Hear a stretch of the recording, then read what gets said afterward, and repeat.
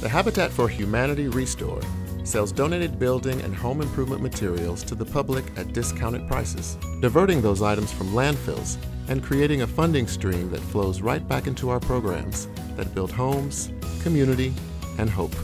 Well, we partner with families to help them build usually their first home. This is really a, an opportunity for them to attain sustainable and affordable housing.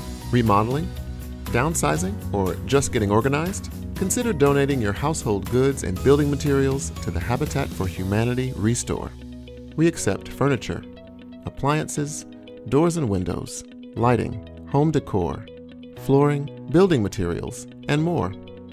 We make donating easy. Drop off to any ReStore location or request a pickup online.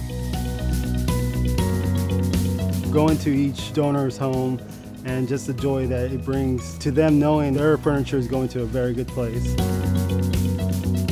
With our constantly changing inventory, frequent markdowns, and one of a kind items, you're sure to find something you just can't leave without.